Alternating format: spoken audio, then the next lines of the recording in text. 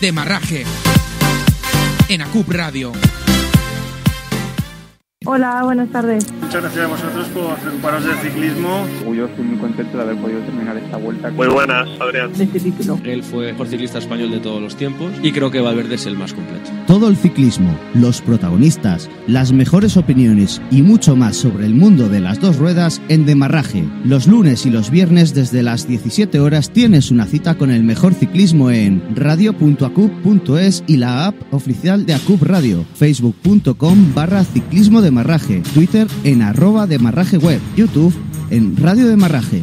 Ah, y atentos a nuestras redes sociales para no perderte ninguna carrera en directo. Te sobra más de un minuto, chiquillo. A ganar y la victoria en París es para Galef Iguan. ¡A pie de carretera! El primer colombiano ganador de un Tour de Francia.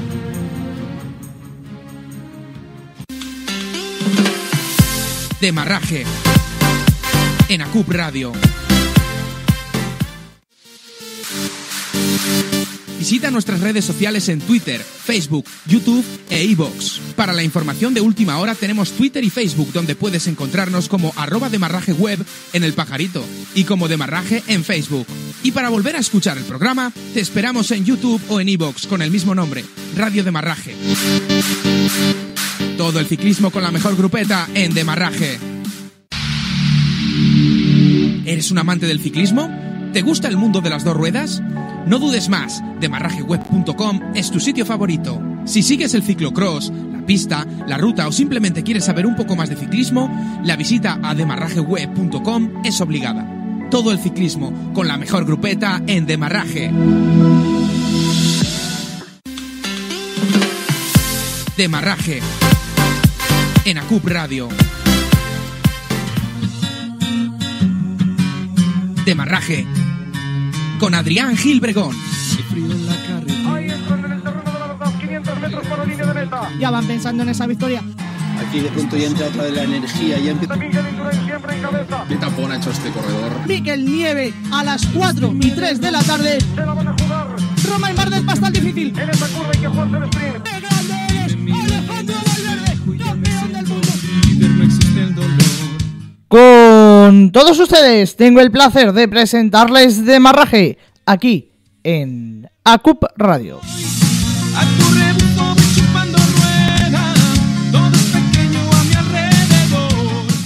Les agradecemos, como siempre lo hacemos, y como no podía ser de otra forma, que confíen en nosotros, que confíen en esta casa para seguir toda la actualidad del ciclismo una semana más, un día más.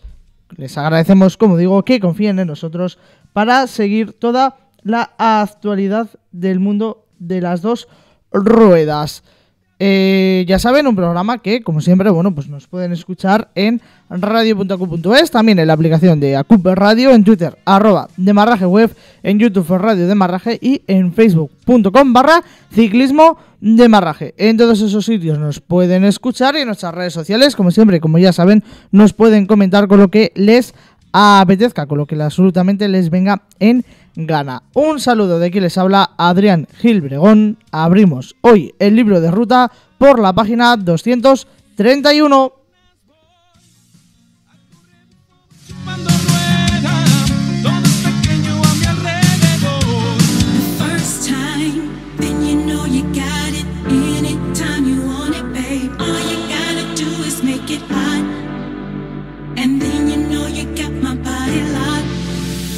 Abrimos, decías, el libro de ruta por la página 231 y en ella, en esa página, nos encontramos que eh, tenemos noticias y próximas carreras. Tenemos mucho contenido para el día de hoy, tenemos noticias importantes, sobre todo de dos eh, corredores importantes, como son Chris Froome y Tom Dumoulin, dos corredores que, bueno, pues uno es protagonista por una buena noticia, el otro por una mala, pero además también tenemos más ciclismo como ciclismo en pista, y Ciclismo Sub-23, que ya empezando la temporada de esos eh, corredores amateurs, de esos que nos tienen que hacer vi- vibrar desde ya y, eh, como no, en el futuro en las eh, grandes carreras. Y también tenemos, como decía, próximas carreras, tenemos carreras en desarrollo, tenemos bastantes, ¿eh? Alba- Algarve, Andalucía, Dubar, en eh, Francia y la Semana Valenciana en el ciclismo femenino, pero es que además esto no para, esto no para, esto no para. Tenemos el UAE Tour del que hablaremos hoy largo y tendido. Bueno, pues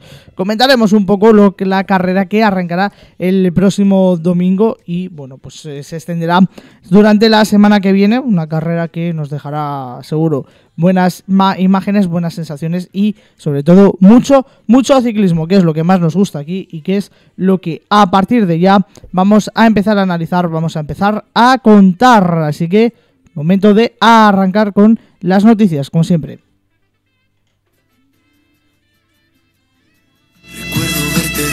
Este próximo día, sábado 22 de febrero, el mejor ciclismo se vive en ACUP Radio. Desde las 3 de la tarde, de Marraje te contará la vuelta a Andalucía.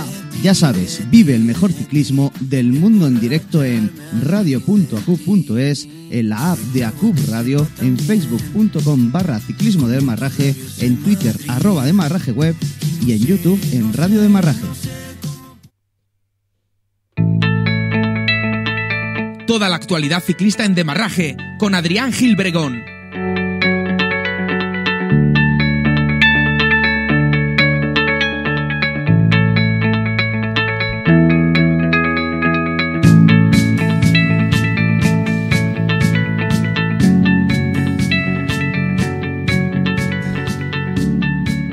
Vamos ya con esa actualidad ciclista, vamos ya con esa actualidad del mundo de las dos ruedas. Empezamos con eh, Chris Froome, que volverá a competir, lo decía yo anteriormente, en el UAE Tour, en eh, la carrera de eh, Arabia Saudí. Iba a decir yo, nos tienen ya tanto globalizado, tanta globalización del ciclismo y del mundo de las dos ruedas, bueno, y del mundo en general, ¿no? Nos tiene ya ahí, no, no, la carrera no de Arabia, sino de los Emiratos Árabes eh, Unidos, eh, la carrera que bueno pues se fusionó el Dubai Tour con eh, otra carrera que ahora mismo no recuerdo el nombre y bueno pues quedó este UAE Tour que servirá para que debute en 2020 Chris Froome y bueno pues vuelva a la competición decía el ciclista británico el propio Chris Froome que es en lo que ha estado pensando durante meses volver a competir, que será un gran alivio estar de vuelta en el pelotón de nuevo y que parece que le han dado como una segunda oportunidad para volver a las carreras profesionales. Después de una caída como la que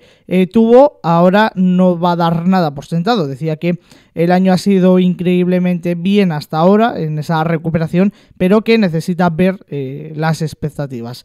Decía que aún está bastante lejos de donde estaba antes de la caída y que le llevará un tiempo volver a esa eh, forma. Han sido ocho meses desde que eh, se cayera, desde que no dejaría, eh, abandonaría ese tour del, ese, perdón, ese criterium del Daucine y bueno, pues vuelve en este UAE Tour. Además, el genio británico, bueno, pues comentaba cómo ha ido evolucionando desde su caída, sobre todo en las últimas semanas decía que ha sido emocionante ver el progreso semana a semana, que todavía no ha hecho mucha intensidad, pero que sí ha estado haciendo entrenamientos de volumen, que ese es el enfoque, tratando de construir eh, nuevamente la base. Decía que todavía está haciendo algunas sesiones de rehabilitación y fisioterapia fuera de la bici, pero que bueno, pues eso ahora es algo secundario que ha sido genial volver a las sesiones normales de entrenamiento en la bicicleta pues, con los compañeros y superar esa carga de trabajo que tenía eh, prevista ya bueno pues que sería algo normal no esa carga de prevista normal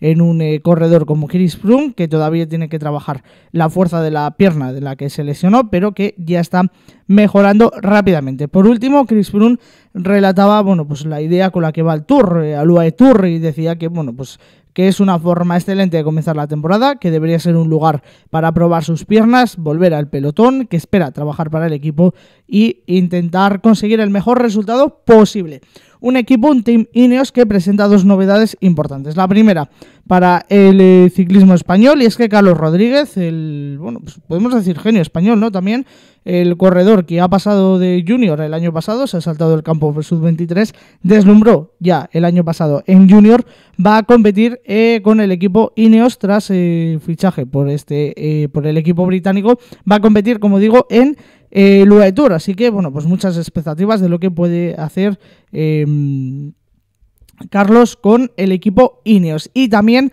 debutará uno de los fichajes más polémicos del equipo em, del equipo eh, británico, que ese es Andrei Amador. Se confirmaba la semana pasada que eh, bueno, pues eh, se desligaba, se rompía, se llegaban a un acuerdo él y Movistar para romper el contrato y bueno, pues al día siguiente confirmaba su fichaje por el equipo Ineos. Así que, bueno, pues dos eh, hombres que junto a Chris Froome harán un aliciente más para ver esa carrera que analizaremos, veremos un poquito más adelante. Además, nos vamos con otro genio, en este caso noticia triste, y es que Tom Dumoulin sigue acusando los problemas. Hace una semana, hace siete días exactamente, decíamos que eh, no iba a participar en la Tirreno Adriático, que no iba a participar en la Milán San Remo y bueno, pues eso nos dejaba entrever algún tipo de problema con el bueno de Tom Dumoulin. Bueno, pues esos eh, problemas, esos eh, dificultades se suman. Decíamos que podía debutar en la Itzulia, que podía debutar en la Vuelta al País Vasco con el Jumbo Visma. Yo, sinceramente, cada vez lo veo más lejos. Cada vez creo que este ciclista eh, va a tenerse que tomar más tiempo. Eh, el año pasado fue prácticamente en blanco para él, se cayó en el Giro de Italia. Recuerden ustedes, no participó ni en el Tour ni en la Vuelta, acabó un poco, bueno, pues de aquella manera con el equipo eh, Sunweb. Y ahora debuta con el equipo Jumbo. Eh, vamos a ver, porque no es el líder único. Están Steven Kruiswijk, está Primo Roglic, eh, sobre todo en el caso de Primo Roglic, demostrando ya que tiene un nivel espectacular y vamos a ver hasta dónde llega Tom Dumoulin. Vamos a ver cuándo puede debutar. De momento ha tenido que frenar en seco o frenar eh, su pretemporada y como digo vamos a ver hasta dónde puede llegar este corredor. Eh, primeramente tiene que debutar, primeramente nos tiene que demostrar que sigue ahí, que está ahí, que está preparado para ganar. Y luego a partir de ahí, bueno, pues a ver, a ver qué nos encontramos. Yo la verdad es que me deja muchas dudas, no sé ustedes, a mí me deja muchas dudas el rendimiento de, de Tun Dumoulin. Y bueno, pues como digo yo, vamos a ver qué, eh, qué nos deja. El propio Dumoulin, vamos con la información eh, confirmaba a través de sus redes sociales que no se había sentido bien en los últimos días, que la semana anterior tenía parásitos en el intestino y que empezó a tomar esa medicación. Decía que ahora se encontraba mucho mejor y que el pasado fin de semana y al inicio de esta semana había tenido buenas eh, sesiones de entrenamiento. Decía que estaba deseando comenzar la temporada prevista y los próximos objetivos. Decía que nos mantendrá informados. Bueno, pues ojalá sea así, que empiece la pretemporada, pero como digo, soy bastante negativo de momento con este corredor. Vamos a ver, como digo, hasta dónde, hasta dónde llega y si eh, por fin nos da esa alegría de verle debutar, de verle otra vez en las carreras y de verle disputar las grandes vueltas, porque es que además eh, yo soy negativo ahora en este punto porque tiene dos grandes rivales en el propio equipo. Y ir con tres líderes al tour, bueno, pues ya hemos visto cómo sale en el caso de Movistar. Mm, si tú eres el más débil, eh, bueno, pues vamos a ver cómo lo maneja el equipo Jumbo, vamos a ver cómo se recupera el bueno de Dumoulin, pero mm, a mí me preocupa mucho, ustedes no lo sé, eh, imagino que también, pero a mí me preocupa mucho que un corredor como Tom Dumoulin esté pasando por estos eh, momentos. Vamos a ver semana a semana la información que iremos sacando aquí, bueno, la información que, que veamos, esperemos que la Itzulia le veamos, como decíamos la semana pasada, debutar. Eh, nos vamos a otra noticia, cambiamos de, modalidad, nos vamos a la pista, nos vamos al velódromo, concretamente a Berlín, en Alemania, donde se va a disputar desde la próxima semana, el 26 de, de febrero, el miércoles eh, 26 de febrero, hasta el domingo 1 de marzo tendrá lugar ese Mundial de Ciclismo en pista que se disputará en Berlín. Como les decía, nos vamos hasta el velódromo de Berlín, eh, de Berlín, no de Berlín, de Berlín. El eh, combinado nacional está concentrado en Valencia, preparando la eh, cita para, bueno, pues esta, esta cita, ¿no?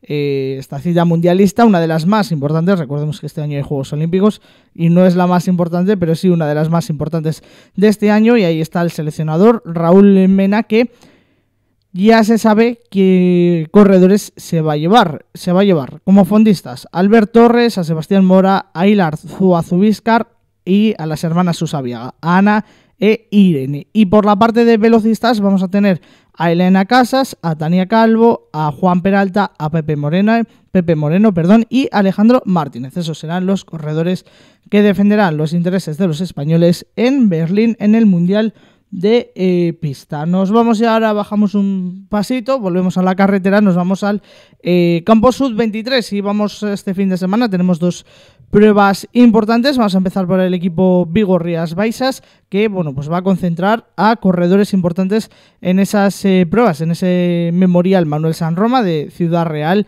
en Almagro, concretamente se celebra y ahí estarán el uruguayo Mauricio Moreira, también el venezolano Edwin Torres. Los dos brillaron la semana pasada, hace dos semanas, perdón, en la vuelta al Guadalentín. Y aparte también estarán el vasco Víctor Echeverría, el asturiano Dani Vijo y el abulense Noel Martín. Serán estos eh, cinco hombres que fueron profesionales y estarán a las órdenes de Marcos Serrano con el equipo Vigues. Además, el 7, que los otros dos corredores que completan el 7 son dos sub-23 eh, gallegos, Íñigo Rodríguez y Guillermo eh, Mayo. El arranque del calendario para Viga Reisas, Viga, lo, diré bien, Vigo Rías Baisas está acumulando, bueno, pues ha ido acumulando presencias en el podium y quiere que sea así antes de la Copa de España de la semana que viene que se pondrá en marcha con el circuito del Guadiana. El recorrido de este Manuel eh, del Memorial Manuel San Roma Valencia resulta bueno, pues ideal para rodadores, eh, homenajea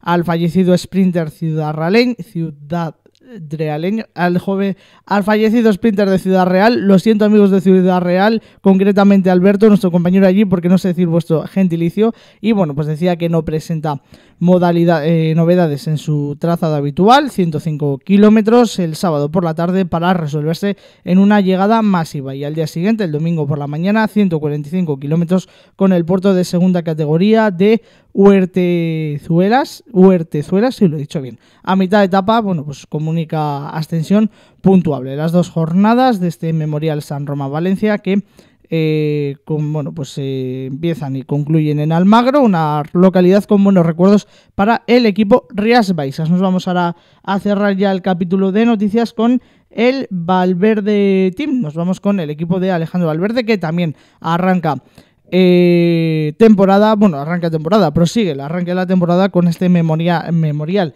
Manuel San Roma y eh, bueno, pues estas eh, citas en Almagro, en Ciudad Real. La alineación en este caso será Eloy Teruel, Alex Ruiz, Abel Valderstone, Antonio Iniesta, Luis Miguel Márquez, David Espejo y Raúl González. Y también en cuanto a mm, los al equipo de Valverde, los destacar que los juniors inician eh, la temporada de carretera con una de las citas más exigentes de la temporada, el trofeo Víctor Cabedo, por el que bueno, pues se han pasado muchos de los ciclistas que luego han debutado como profesionales. El eh, trofeo entrada de toros y caballos de Segorbe el sábado por la tarde y la crono por equipos de Villarreal el domingo por la mañana. Se componen ese gran premio Víctor Cabedo. Así que una competición donde estarán Raúl Caballero, Sergio Gerlins, Guillem Fuertes, Juan Pedro Lozano, José Ángel Camacho, Adrián Lozano, Jaime Aguilar y José Antonio Sánchez. Así que ese es el equipo junior que presentará la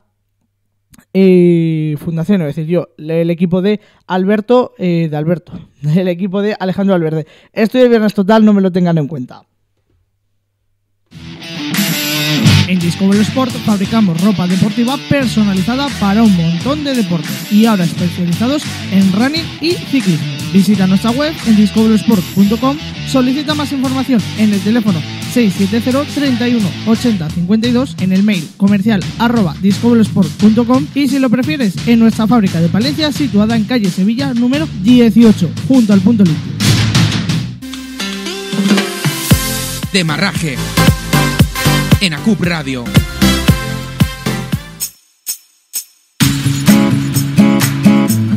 Saca la agenda y apunta las próximas carreras que no te puedes perder de la mano de Adrián Gilbregón en Demarraje.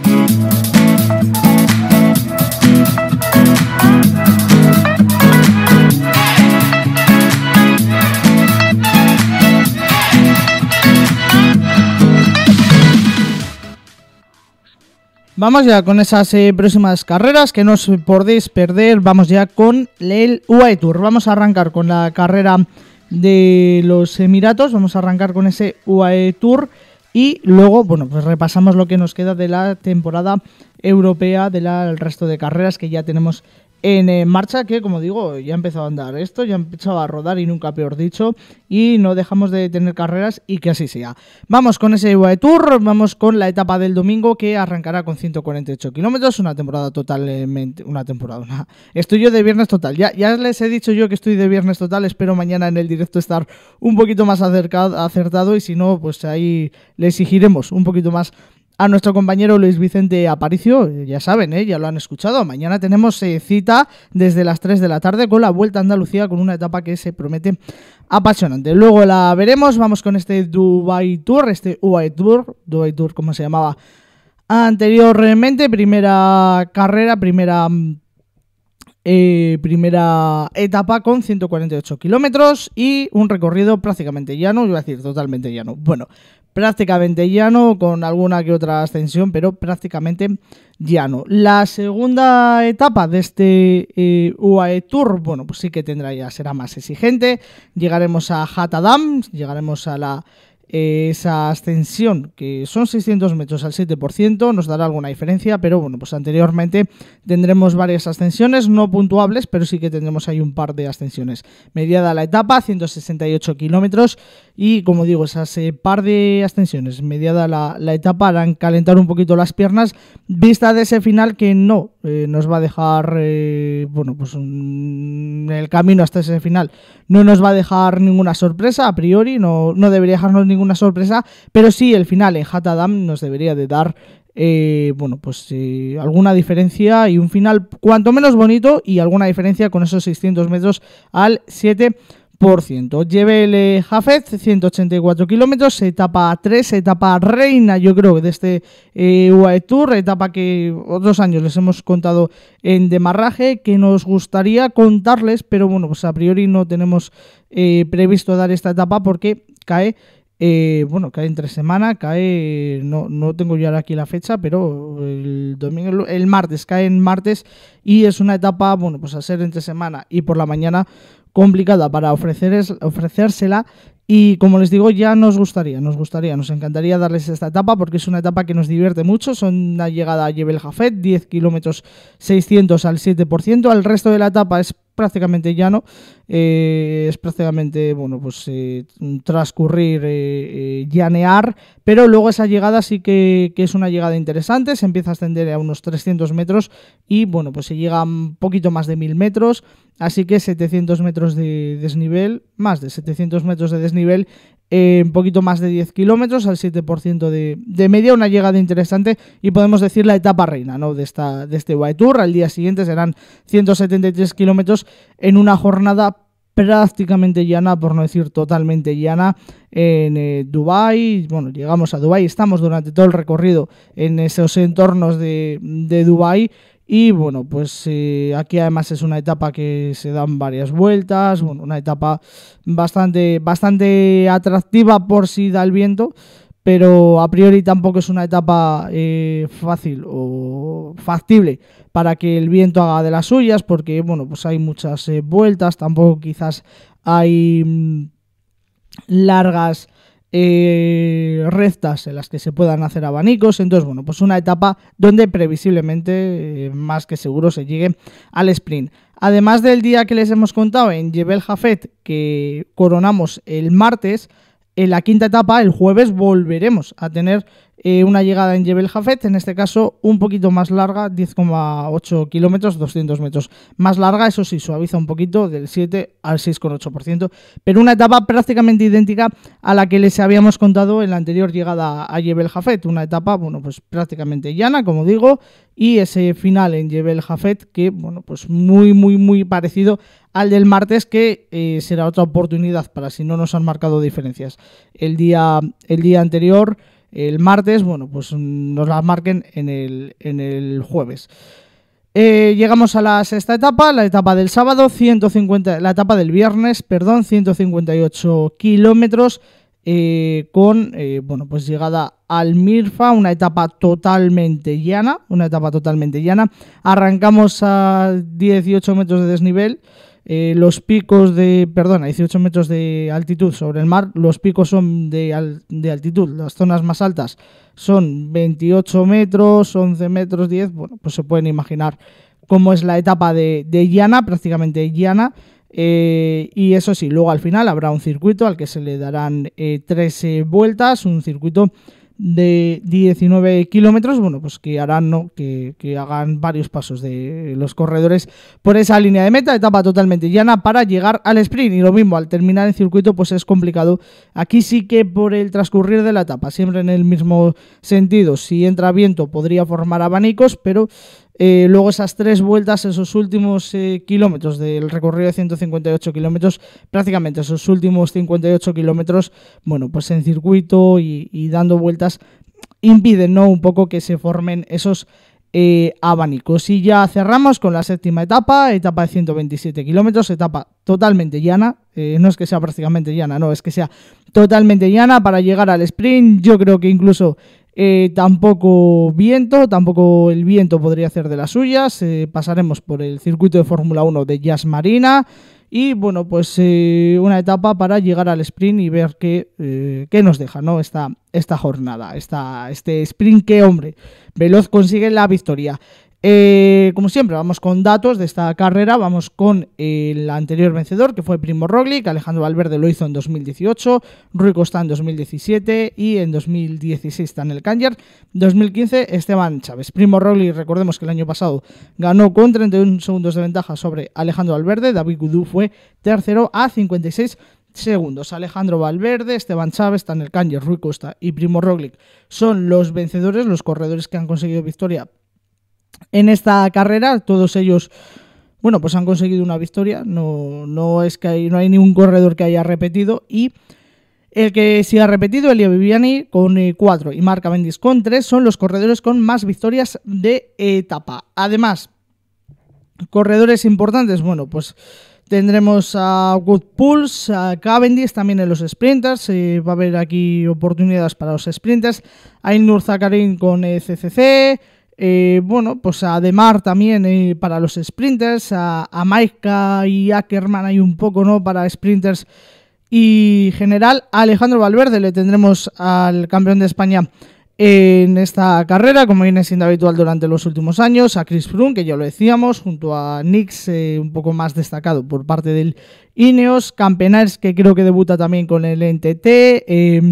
Eh, eh, bueno, Calefi One para los sprinters, Simon Jace, mm, corredores importantes, carrera World Tour, carrera donde vienen los eh, 18 equipos eh, World Tour. Bien, 18, falta, falta uno de los eh, 18 de los 19, si no me equivoco, co- falta, no, iba a decir falta Cofidis, bueno, falta uno de los 19 equipos eh, World Tour, vienen 18, mm, y luego vienen Gazprom y Zabu, Mini Zabu, KTM eh, como Pro Tour y bueno, pues eh, participación importante, Ulisses Riches por parte del Emirates, bueno, corredores y participación importante para esta eh, carrera, para este UAE Tour que bueno, pues veremos durante toda la semana que viene lo que les contaremos. Nos vamos a lo que nos queda la vuelta al Algarve, no, ya les decía yo anterior estas semanas que no queremos dejar resultados pendientes, así que vamos el lunes. Ponemos en orden todos los resultados, esperamos a lo que nos queda de la vuelta al Algarve. Mañana un final en alto, segunda categoría, 2,6 kilómetros al 9,4%, final en el Alto do Malau. Anteriormente, bueno, pues eh, habrá tres puertos de tercera puntuables, otro de segunda para ir calentando las piernas y, bueno, pues para buscar en ese final en alto a ver si alguien, alguien es capaz de batir a Renko de Benepul. Creo que, que complicado, sobre todo viendo lo que queda en la quinta etapa, una crono individual eh, con 20 kilómetros, una crono, bueno, pues ya decíamos el otro día que, bueno, pues no muy, muy, muy para especialistas, una crono que presenta además varios, varios, sí que tiene algunas rectas y alguna zona para especialistas, pero bueno, también tiene ascensiones, también tiene, tiene algunos eh, metros con porcentajes importantes y varias curvas, ¿no? Varias zonas eh, técnicas que, bueno, pues eh, implican un poco más la trazada de los eh, corredores. Nos vamos con la Vuelta a Andalucía, vamos con la etapa que les contaremos en el día de mañana. Llegamos a Granada, una etapa muy interesante, una etapa más que interesante en esa llegada a Granada, básicamente porque viene precedida, serán solo 125 kilómetros, y viene precedida de dos puertos de tercera categoría a la mitad de la etapa y lo más importante, la ascensión al alto del Purch, que veremos, eh, viviremos entera en demarraje, 8,8 kilómetros al 7,8%,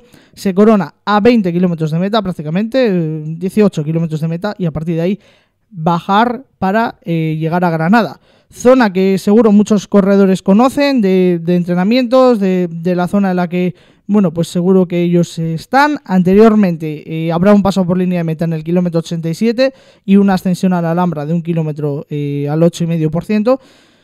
Y bueno, pues eh, jornada, como digo, que seguro una zona donde los corredores se conocen y eh, donde, bueno, pues viviremos en demarraje desde las 3 de la tarde en nuestros canales habituales y les invitamos a seguirlo porque va a ser una jornada importante. Veremos a ver lo que nos deja de cara a la llegada a la crono de Mijas, 13 kilómetros. Eh, bueno, una crono con alguna zona para especialistas, pero lo mismo que decíamos en Algarve, una crono, por, por ejemplo, hay 900 metros al 7% antes del primer paso intermedio antes del primer eh, cronómetro intermedio.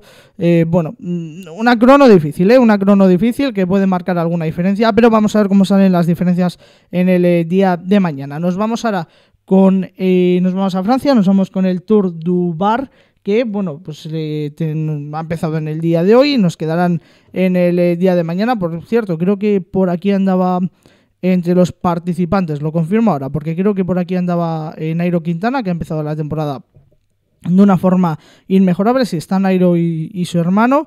Y bueno, pues en el día de mañana, 175 kilómetros, con final en el Col de Etz, una etapa bastante bonita, con ascensión de ascensiones de tercera y de segunda puntuables, pero luego hay otras ascensiones que no puntúan, pero apuntalan en las piernas, así que una carrera bonita este Tour du Bar, en, eh, sobre todo en la jornada de mañana, con esa ascensión al Col de Etz. Y el último día, el do- domingo, serán 136 kilómetros en la tercera etapa eh, hasta la llegada a Montfaron, 5,7 kilómetros al 8,4%. eh, bueno, pues una jornada también importante con otro puerto de tercera categoría como previa a esta extensión final, un terreno quebrado. Jornada importante, carrera importante también aquí en eh, la carrera en el eh, Tour eh, Dubar. Y cerramos con la semana valenciana, cerramos con la carrera de las eh, chicas. mañana 94 kilómetros entre Valencia y Sagunto, un puerto de segunda categoría, el Alto del Oronet, nada más ascender, pero a partir de ahí una jornadita, bueno, pues un terreno más bien llano. Veremos si se llega al sprint o ese puerto de segunda categoría rompe la carrera. La fuga seguro que va a ser muy fácil de, muy difícil, perdón, de hacer. Y el domingo tendremos llegada en Villarreal, jornada totalmente quebrada, tercera, el alto de Marianet de tercera categoría, Eslida de segunda, alto de Ain de segunda también, y el alto del caballo de primera. Todo esto en los 140 kilómetros y eh, todo esto en los primeros 90 kilómetros y a partir de ahí descenso prácticamente hasta Villarreal. Así que carrera que seguro que llega rota y seguro que hace las delicias de los aficionados. Y nos quedamos ya sin tiempo para más, como siempre. Nos quedamos sin tiempo para más. Hasta aquí llega Radio de Marraje por hoy. Nos pueden volver a escuchar, como siempre, en Demarraje Web, en nuestra web, en demarrajeweb.com, en facebook.com barra ciclismo de Marraje, en Twitter, en eh, muchos sitios. Nos pueden escuchar en Twitter, en YouTube, en iVoox, en muchos sitios. Recuerden, salgan a pedalear. Nosotros nos vemos mañana con mucho más ciclismo. Y recuerden que mañana nos vemos con esa cuarta etapa de la Vuelta a Andalucía, de la Vuelta a Andalucía de la Ruta del Sol. Una etapa que va a ser muy importante, muy bonita y muy interesante. Les esperamos a las 3 de la tarde mañana. No se, eh, no se pierdan. Nos vemos. Hasta luego.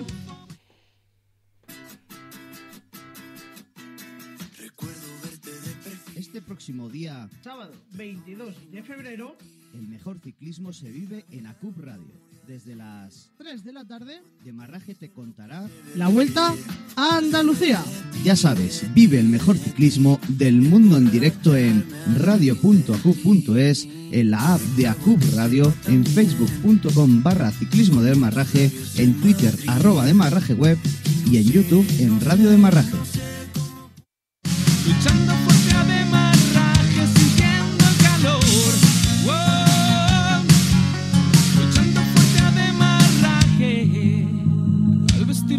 mano. Algo cambia en mi